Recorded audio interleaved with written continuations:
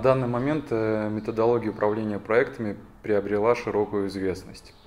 А главная причина этого, на мой взгляд, заключается в том, что проекты являются основным средством создания уникальной продукции, а также они являются средством внедрения в деятельность организации чего-либо нового. Кроме того, применение методологии управления проектами позволяет сосредоточить власть, ответственность и ресурсы в достижении поставленных целей. В настоящее время методология управления проектами уже очень известна и широко применяется на практике. Эта методология нужна нам для того, чтобы не просто добиваться поставленных целей, а делать это максимально эффективно, своевременно, в рамках выделенного бюджета, с максимальным качеством э, и так, чтобы наши потребители, наши заказчики были довольны нашей работой. Надо сказать, что методология проектного управления была известна в нашей стране не всегда. И я, когда сам учился в университете, к счастью, учился в СПБГАСУ, и поэтому смог на старших курсах изучить методологию проектного управления и ознакомиться с программными продуктами, научиться в них работать. А сейчас я уже вместе с коллегами передаем свои знания и свои, свой практический опыт уже тем студентам, которые учатся сейчас.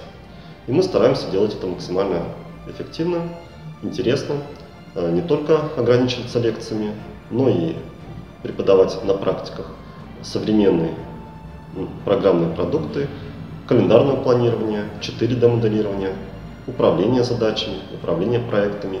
Мы стараемся организовывать для наших студентов различные события, э, конференции, также стоит отметить, что деятельность по управлению проектами отличается от повседневной управленческой деятельности. А процесс управления в любом случае является весьма сложным. Однако, когда реализация цикла управления связана с выполнением типовых задач, которые повторяются из раза в раз, у руководителя в некоторой степени больше возможностей для совершенствования процесса управления и повышения его эффективности.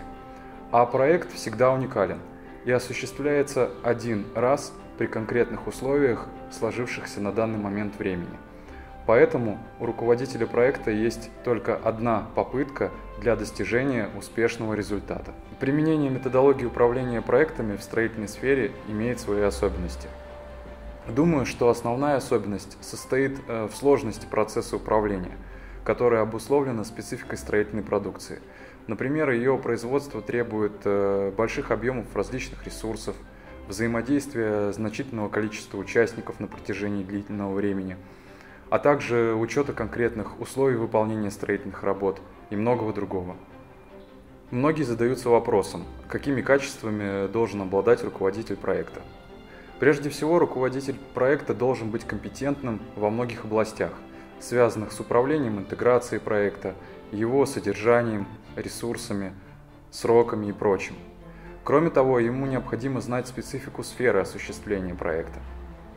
И, наконец, руководитель проекта должен уметь работать в условиях конфликтных ситуаций и по возможности предотвращать, а также разрешать эти ситуации.